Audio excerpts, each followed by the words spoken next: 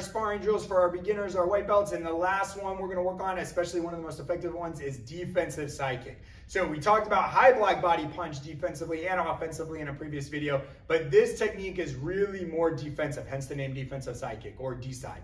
So this is gonna be, you recognize someone's coming with a back fist or they're moving forward very aggressively, maybe with some punches. You're gonna create space and then you're just gonna use your front leg side kick to defend against it. So we're gonna use the big bag today. Uh, Mr. Neal's gonna have his kicking leg in front.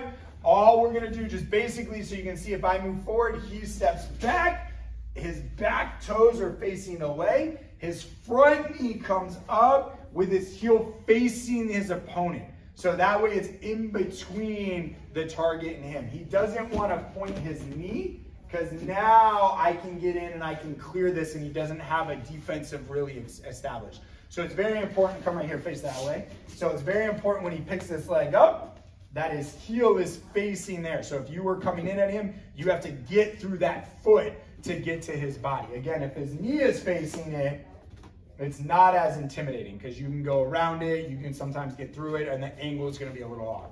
So make sure you get that foot to face that target when you drive through. So a defensive side kick is going to look like this. The, the pad holder is going to have the pad. They're just going to start watching. And then he's going to back up and then kick. Yep. So all he's working on is trying to create space and then side kick. So again, notice I'm moving forward. If he doesn't move, if he doesn't move back, oh, I'm already there. So it's very important that as that forward motion starts happening, you counteract that forward motion with a backward step of your own and then get that knee up fast and then kick. As you get more advanced, we'll start talking about sliding kicks and uh, offensively using that side kick to get in quicker um, than not just defensively. But right now, this is just the beginner portion of that. So again, this is defensive side kick. The footwork, the step, the foot where it's supposed to be in between you and your target is very important. So practice that down, get those basics down so that you can get it without thinking about it. That's the best way you know is when you just start doing it subconsciously, you don't have to think about the movement,